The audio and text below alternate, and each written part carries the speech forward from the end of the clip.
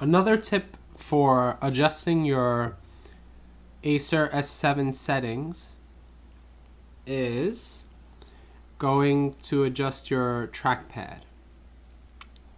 So let me take you there. You click the little arrow down here and then the little trackpad icon and right click on the trackpad and go to properties of touch. I recommend increasing the pointer speed,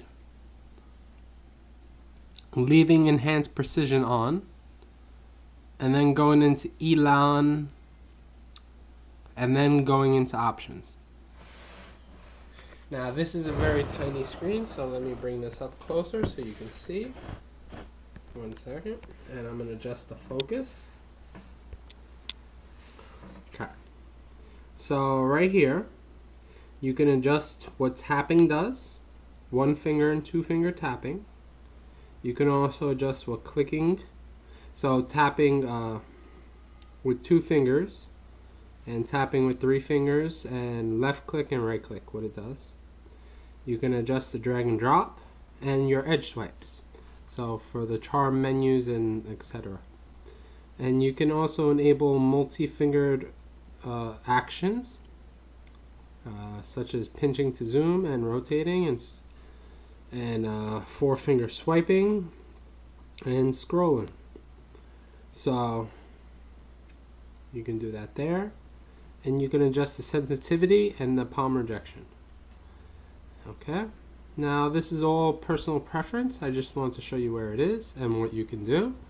Uh, you can explore the settings for yourself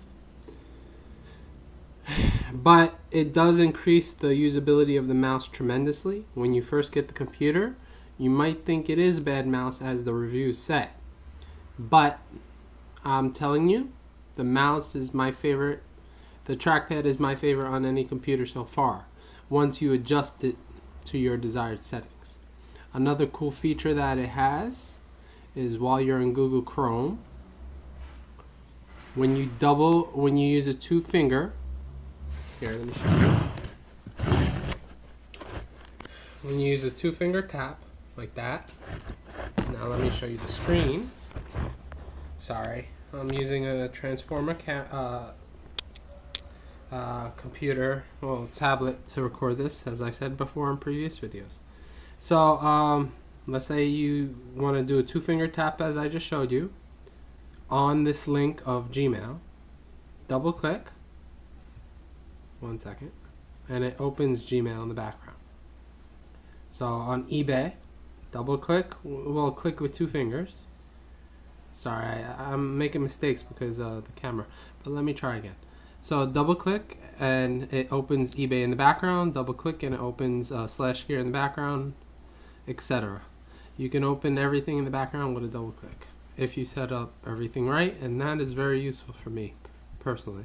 So I just want to show you how to do that and hope you liked this video. If you did, please like and subscribe. New content is coming for lots of different technology and that's it.